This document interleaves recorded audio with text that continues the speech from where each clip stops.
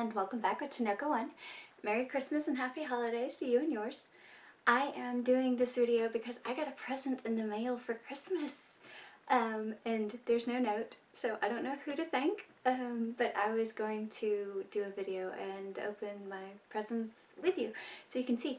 Um, and thank you again to whoever bought me the presents, I really appreciate it. Uh, you can put a note in there basically to let me know who to thank um, because I would like to actually be able to thank the individual rather than a broad, hey, you, you know who you are, thank you so much. Um, you don't have to, of course, by all means, but I really do appreciate it. Thank you. Alright.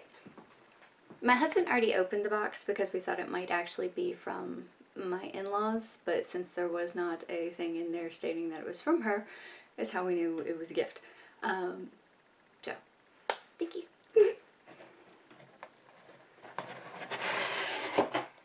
Ooh.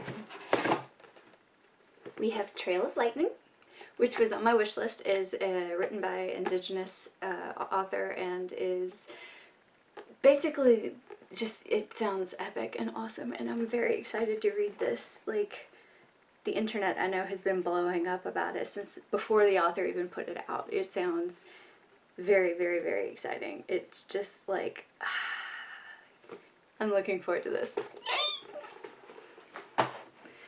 And then we have a box inside a box, and I don't know what the box holds. Let's see. It's basically, the book is The Apocalypse Meets the Supernatural.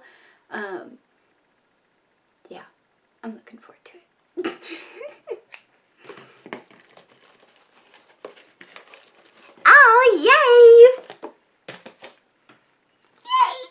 Elsa, and it's a mug, and it makes me happy because it's Elsa and it's a mug.